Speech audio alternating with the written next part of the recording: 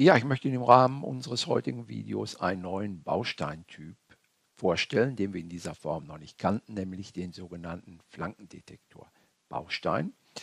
Dieser Baustein macht genau das, was der Name sagt. Er erkennt Flanken, das heißt Änderung eines Signals von 0 auf 1, steigende Flanke, oder von 1 auf 0, fallende Flanke. Wofür brauche ich das? Dazu wollen wir uns ein typisches Beispiel angucken und das dann auch programmieren und ausprobieren. Ich brauche das beispielsweise für eine Richtungserkennung. Das heißt, wenn ich zum Beispiel nicht nur erkennen möchte, ob ein Motor läuft, sondern in welcher Richtung er sich dreht. Linksrum oder rechtsrum. Oder, und das ist das Beispiel, was wir uns genauer angucken wollen, wenn ich nicht nur Autos zählen möchte, die eine Straße passieren, sondern auch in welche Richtung die fahren. Ist wichtig beispielsweise für Parkplatzverwaltung, wenn ich wissen möchte, wie viele Wagen sind aktuell auf einem Parkplatz, dann muss ich wissen, wie viele Wagen sind draufgefahren und wie viele sind runtergefahren. Über die Differenz weiß ich dann, wie viele Wagen draufstehen. Und dazu muss ich wissen, in welche Richtung sich ein Wagen bewegt. Gucken wir uns das Ganze zunächst mal in der Theorie an, bevor wir anfangen zu programmieren. Also, wir haben hier unsere Straße. Wir haben ein Fahrzeug, dieses rote Auto, das kann in zwei Richtungen fahren von links nach rechts, Fahrtrichtung A und von rechts nach links, Fahrtrichtung B. Wenn ich jetzt nur wissen möchte, wie viele Autos haben die Straße passiert, dann würde es ausreichen, wenn ich eine einzige Lichtschranke dahin bauen würde und jedes Mal, wenn die Lichtschranke unterbrochen wird, zählt ein Zählerbaustein um eins rauf. Zählerbausteine kennen wir noch nicht, werden wir demnächst aber kennenlernen. Ich würde in dem Fall mit einer Lichtschranke auskommen. Was ich dann aber nicht habe, ist die Information, in welcher Richtung ist der Wagen gefahren. Dazu brauche ich zwei Lichtschranken und muss die beiden Lichtschrankensignale entsprechend auswerten. Deswegen sehen Sie, habe ich hier Lichtschranke S1 und eine Lichtschranke S2, die relativ nah beieinander sind. Beide Lichtschranken sollen so geartet sein, dass sie wenn sie unterbrochen sind, logisches Nullsignal liefert, weil eben das Lichtsignal nicht auf Empfängerseite ankommt. Wenn sie nicht unterbrochen sind, liefern sie logisches Einsignal. Und jetzt gucken wir uns beide Fahrtrichtungen mal an und versuchen zu erkennen, wie die Auswertung funktionieren kann. Also wir stellen uns zunächst mal vor, der Wagen fährt von links nach rechts. Dazu gehört hier das untere Diagramm. Sie sehen oben jeweils die linke Lichtschranke S1. 1 Pegel heißt, die Lichtschranke ist nicht unterbrochen, 0 Pegel heißt, sie ist unterbrochen. Unten das gleiche für die rechte Lichtschranke S2. In der aktuellen Wagenposition sind beide Lichtschranken nicht unterbrochen. Ich befinde mich also ganz links hier in meinem Zeitdiagramm. Beide Lichtschranken liefern den Sensorwert 1, weil sie nicht unterbrochen sind. So, jetzt fährt mein Wagen nach rechts. In dem Moment, wo er die linke Lichtschranke passiert, geht hier das Signal S1 auf 0. Das Signal S2 bleibt noch auf 1, weil er noch nicht bei S2 weiter angekommen ist. In dem Moment, wo er jetzt S2 erreicht, geht es bei S2 von 1 auf 0. Sie sehen, hier ist schon eine Flanke eingezeichnet, die brauchen wir gleich. Und jetzt sind beide Signale 0, solange bis er mit dem Heck aus S1 rausfährt. Das wäre im Prinzip an, an dieser Stelle und dann fährt er mit dem Heck aus S2 raus. Das wäre an dieser Stelle. Nicht bedeutet, Fahrtrichtung A von links nach rechts liefert ein Signal S1 ist 0 und S2 fällt von 1 auf 0 fallende Flanke, nämlich in dem Moment, wenn der Wagen hier mit seiner Front S2 passiert. Das ist genau dieser Zeitpunkt. Wie sieht das aus in der anderen Fahrtrichtung? Fahrtrichtung B von rechts nach links. Also wir stellen uns jetzt vor, der Wagen startet hier, fährt von rechts nach links. Jetzt gucken wir auf das rechte Diagramm. Irgendwann erwischt er mit seiner Front die erste Lichtschranke also die zweite Lichtschranke von links betrachtet, S2. S2 geht auf 0. Das ist dieser Zeitpunkt. S1 ist noch nicht unterbrochen. Da sind wir noch hier auf logisch 1. Er fährt weiter. Irgendwann erwischt die Frontlichtschranke S1. Jetzt ist S1 auch unterbrochen. Das ist dieser Zeitpunkt. Jetzt sind beide unterbrochen. Er fährt weiter nach links. Irgendwann geht das Heck aus Lichtschranke S2 raus und Lichtschranke S2 ist nicht mehr unterbrochen. Das ist genau dieser Zeitpunkt. Das heißt, an S2 habe ich eine Flanke von 0 auf 1. Das ist der Zeitpunkt, wo er, wenn er von rechts nach links fährt, mit dem Heck aus S2 rausfährt. S1 ist noch unterbrochen, S2 nicht mehr. Das ist dieser Zeitpunkt. Ich, und jetzt sehen Sie, jetzt habe ich hier eine Kombination. S1 ist 0, das hatte ich hier auch, aber es tritt eine steigende Flanke auf. Nicht? Und das ist das, was ich jetzt abfragen kann. Nicht? Es macht keinen Sinn, hier abzufragen, wann sind beide Lichtschranken 0. Dann weiß ich zwar, dass der Wagen beide Lichtschranken überdeckt. Ich weiß aber nicht, aus welcher Richtung er kam. Für die Richtungsinformation muss ich abfragen, was mein Signal S2 macht. Fällt das oder steigt das? S1 muss 0 sein, damit der Wagen auf jeden Fall S1 unterbricht. Wenn S2 in dem Moment fällt, ist der Wagen von links nach rechts gefahren und hat mit der Schnauze hier vorne S2 unterbrochen. Dann weiß ich, es war eine Fahrt in Richtung A. Wenn S1 unterbrochen ist und S2 steigt von 0 auf 1, dann weiß ich, er kam aus Fahrtrichtung B und hat mit seinem Heck die Lichtschranke S2 wieder freigegeben.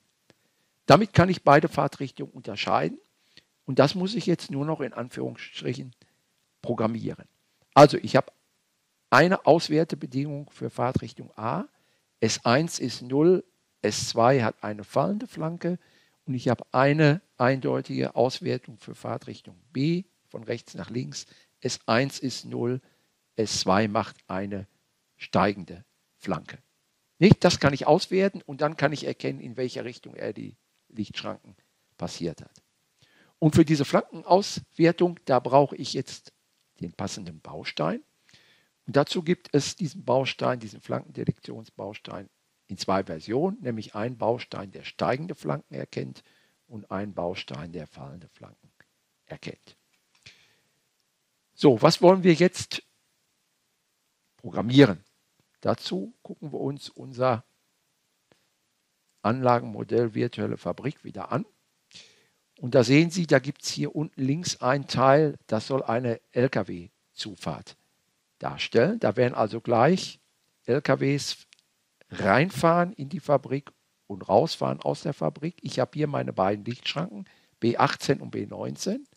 Das ist das, was hier S1 und S2 war. Und ich habe hier zwei Anzeigeleuchten, P3 und P4. P3 soll mir signalisieren, es ist ein Wagen reingefahren, von links nach rechts. Das ist das, was Fahrtrichtung A war und P4 soll mir anzeigen, es ist ein Wagen rausgekommen. Das ist meine Auswertelogik. Die werden wir dann später mit einem Zähler verknüpfen. Das sehen Sie schon hier drüber. Das machen wir in einem anderen Tutorial, um anzuzeigen, wie viele LKWs im Augenblick im Innern der Fabrik sind. Das machen wir heute noch nicht. Wir wollen nur die Anzeigen steuern. Also, wir wollen Folgendes machen. Sobald erkannt wird, dass ein Wagen reingefahren ist, also Fahrtrichtung links nach rechts, soll P3 leuchten und anbleiben. Solange bis erkannt worden ist, dass ein Wagen rausgefahren ist, dann soll P3 ausgehen und P4 leuchten. Solange bis wieder eine neue Auswertelogik erfolgt ist. Nicht? Also unsere Eingangsgrößen sind die beiden Lichtschrankensignale B18, B19. Ansteuern wollen wir die Anzeigelampen P3 für Fahrtrichtung rein in die Fabrik und P4 für Fahrtrichtung raus aus der Fabrik. Wie sieht das Programm dazu aus?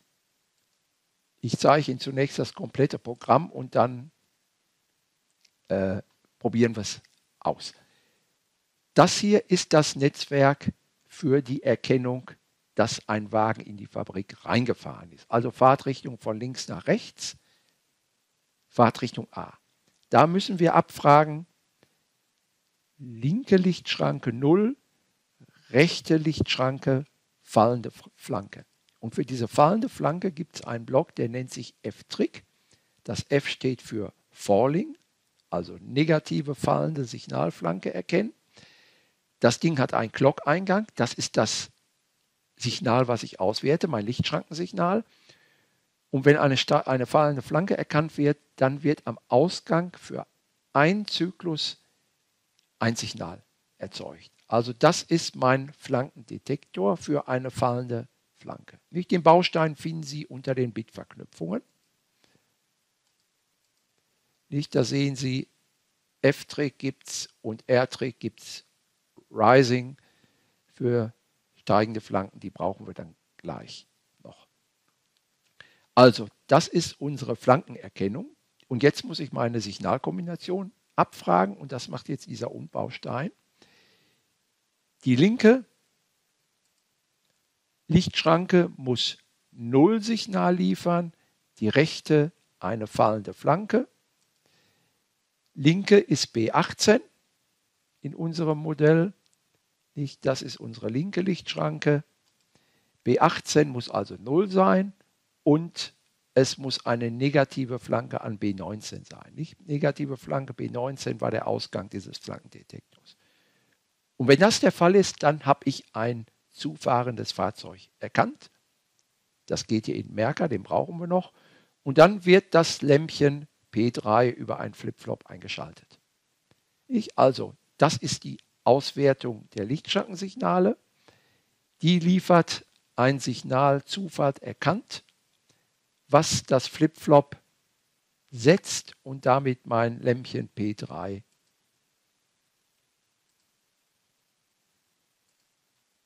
einschaltet. Da ist es. So, zurückgesetzt wird das Lämpchen, wenn ein ausfahrendes Fahrzeug erkannt wird. Und das ausfahrende Fahrzeug wird jetzt im zweiten Netzwerk erkannt. Das sieht genauso aus wie das andere, macht aber jetzt die andere Fahrtrichtung.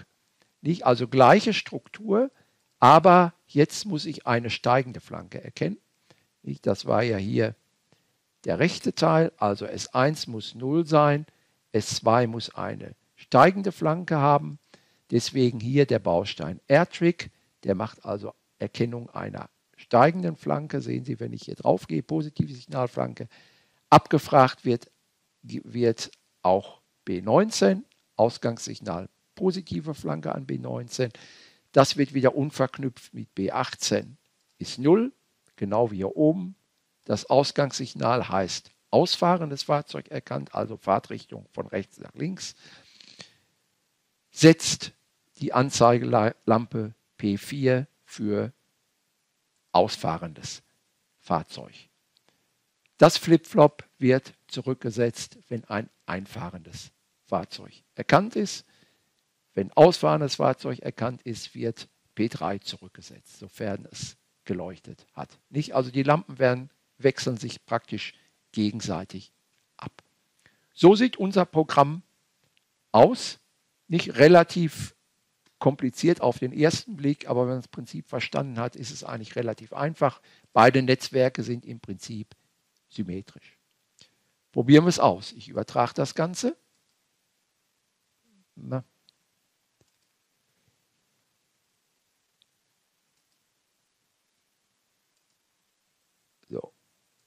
Also einmal starten in meinen Simulator. Der Simulator läuft schon. Ich hole ihn mal eben wieder nach oben.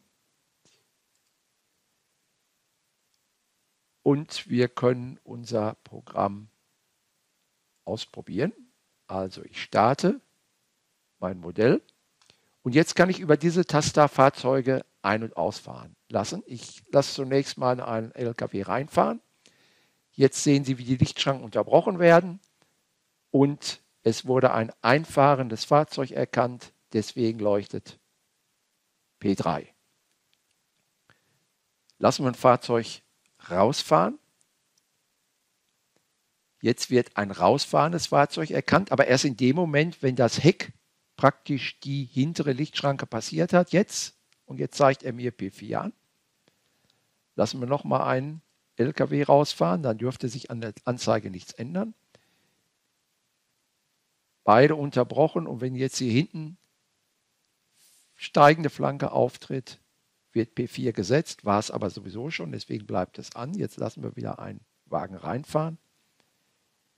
Erste Lichtschrank unterbrochen, fallende Flanke an der zweiten, P3 geht an.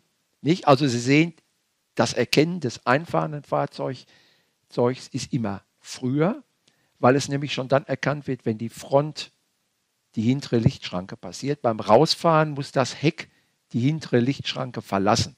Das Rausfahren wird also später erkannt als das Reinfahren. Wir lassen nochmal einen rausfahren. Nicht, jetzt sind beide unterbrochen und wenn jetzt die hintere Lichtschranke verlassen wird, dann wird erst erkannt, dass es ein Ausfahrendes ist. Das Einfahrende wird schon erkannt, wenn die hintere Lichtschranke mit der Front erwischt wird. Sehen Sie, jetzt ist so direkt P3 erkannt. Nicht so funktioniert diese Richtungserkennung auf Basis zweier Lichtschranken mit Auswertung durch Flankendetektoren. Genauso geht das im Prinzip beim Motor. Wenn Sie die Drehrichtung eines Motors erkennen wollen, machen Sie es dementsprechend genauso. Auch da brauchen Sie im Prinzip zwei optische Sensoren, Lichtschranken oder zwei magnetische Sensoren.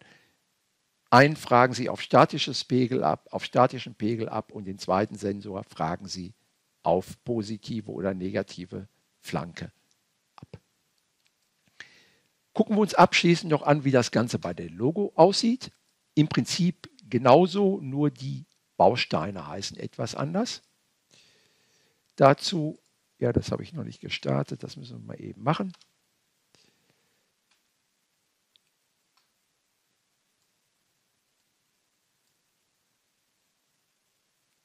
Das ist also das entsprechende Programm. Machen wir es mal ein bisschen größer hier.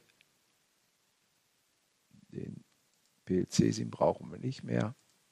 Nicht, das ist im Prinzip die gleiche Struktur wie gerade in unserem TIA-Portal. Die Flankenerkennungsbausteine finden Sie bei der Logo bei den Grundfunktionen. Und zwar gibt es da einmal einen Und-Baustein, der eine Flankenerkennung macht und einen Nicht-Und-Nennt-Baustein. Der Und-Baustein erkennt steigende Flanken, das ist der, der Nennbaustein erkennt fallende Flanken. Dabei brauchen Sie nur den ersten Eingang zu benutzen. Nicht? Also die anderen Eingänge können frei sein, braucht man nur für komplexere Anwendungen. Also dieser Baustein hier macht das, was bei unserem TIA-Portal dieser F-Trick-Baustein gemacht hat, also fallende Flanken.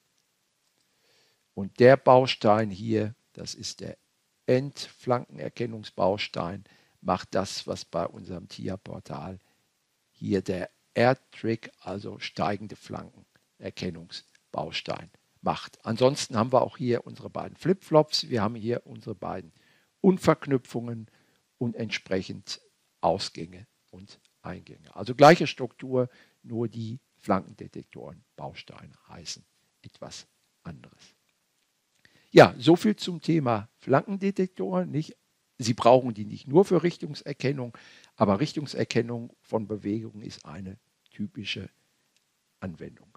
Im nächsten Tutorial werden wir das Beispiel dann fortführen. Da werden wir dann nämlich eine tatsächliche Verkehrszählung machen. Nicht? Da werden wir also Zählerbausteine kennenlernen und werden diese Zählerbausteine dann entsprechend über diese Flankendetektoren ansteuern. Für heute war es das. Besten Dank fürs Zuhören.